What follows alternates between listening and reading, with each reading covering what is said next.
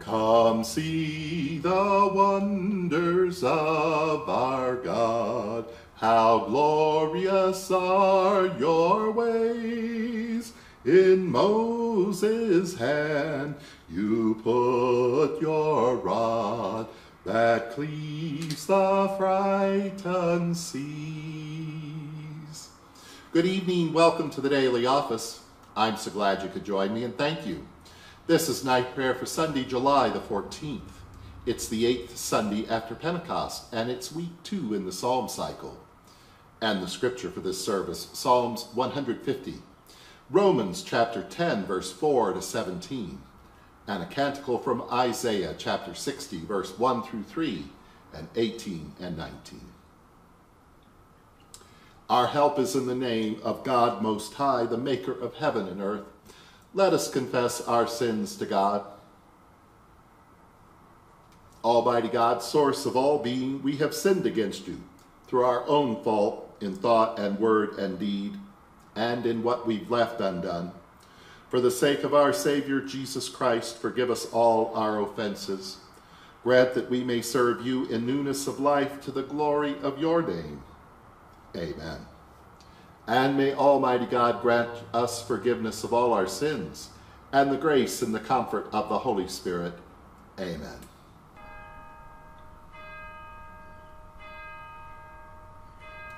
O God, come to my assistance, make haste to help me. Glory to you, source of all being, eternal word and Holy Spirit, as in the beginning, so now and forever. Amen. Alleluia. We praise you, God Most High. We praise you in your sanctuary.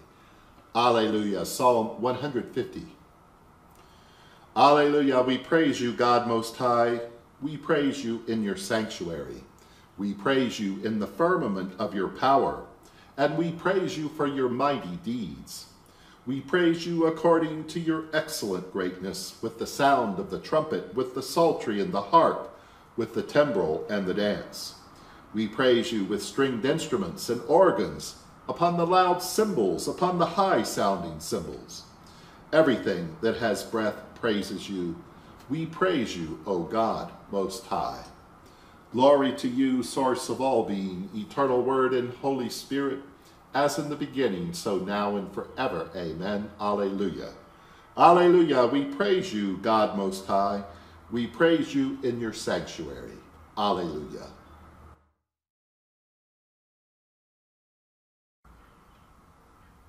The lesson is from Paul's letter to the Romans, chapter 10, beginning at verse 4. For Christ is the end of the law, so that there may be righteousness for everyone who believes.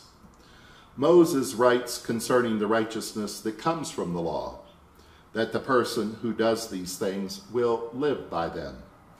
But the righteousness that comes from faith says, Do not say in your heart, Who will ascend into heaven? That is, to bring Christ down, or who will descend into the abyss, that is, to bring Christ up. But what does it say? The word is near you, on your lips and in your heart. That is the word of faith that we proclaim.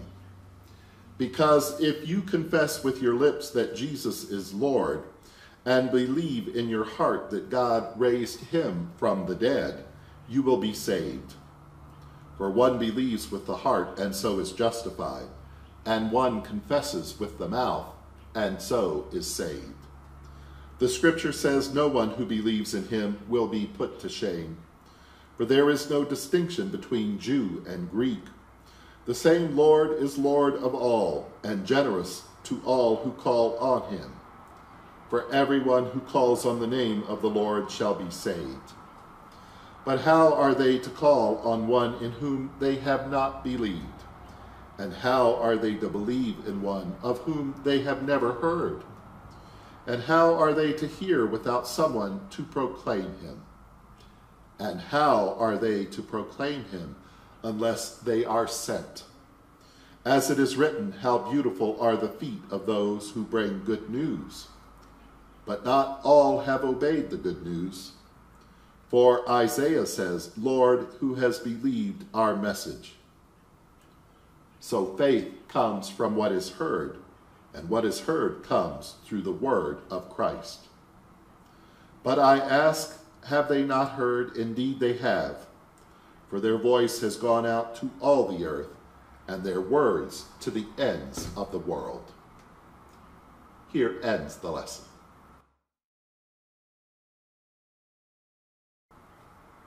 Into your hands I commend my spirit, for you have redeemed me, O God of truth.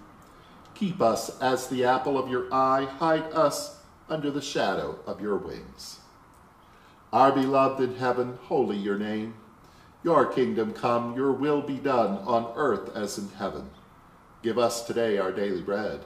Forgive us as we forgive others. Save us from the time of trial and deliver us from evil. For the kingdom, the power, and the glory are yours, now and forever. Amen. Alleluia, arise and shine, for your light is come, and the glory of the Most High shines on you. For darkness shall cover the earth, and gross darkness the people.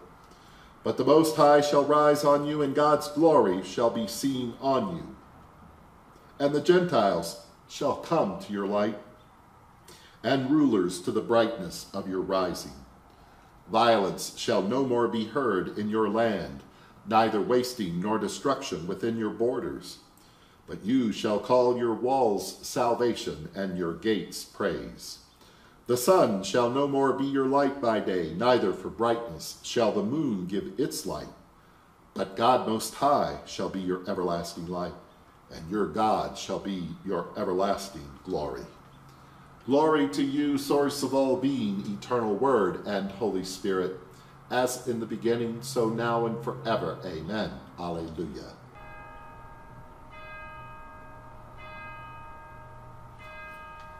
Alleluia, O tender God, you have seduced me, and I was seduced.